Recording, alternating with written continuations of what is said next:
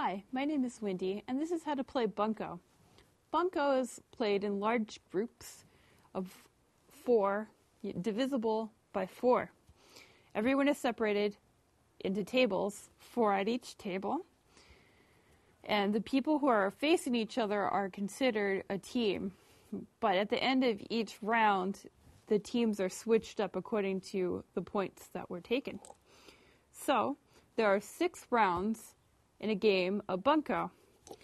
Round one, you roll the dice. You have three dice. Each person has three dice. So the first person on the table rolls their dice, and they try to get as many ones as possible because this is round one. For each of the correct number that you roll, one point. So this roll here, which is two ones and a six, it would get me two points.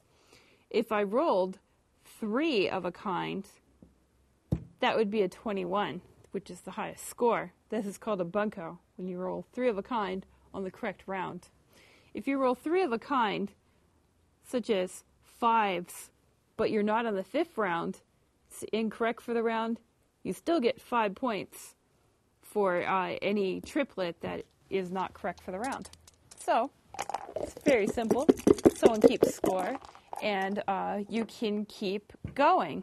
You keep going until you're not able to score points anymore, such as this roll here, which is not triplets and it's not ones. Um, you keep going until you can't score points anymore, or until you get 21, either by adding it up or by rolling a bunco.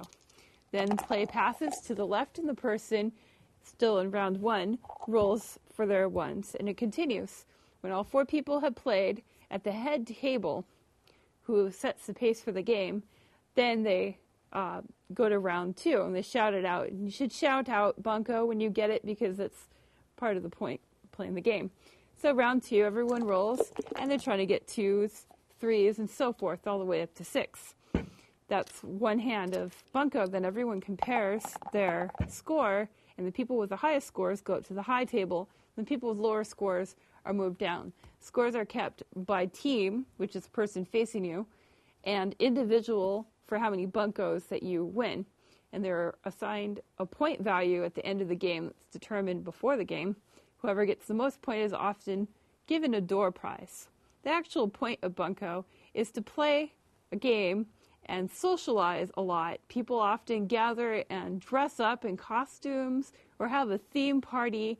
Bunco is purely the luck of the dice. It's not like Yahtzee where you get to decide if you're going to re-roll a die or something. So there's no skill involved in bunco. The real point is to get together with your friends. And that's how you play bunco.